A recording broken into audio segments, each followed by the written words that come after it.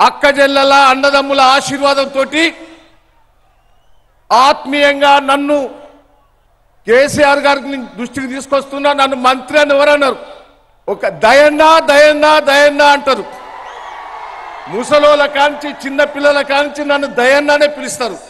ఈ జిల్లాల ఆ ప్రజల ఆశీర్వాదం నేను పర్వతగిరిలో పుట్టాను.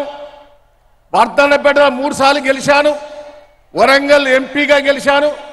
పాలకుర్తి అండతోటి మూడు సార్లు గెలిచి మీ దయ వల్ల నేను మంత్రి అయ్యాను.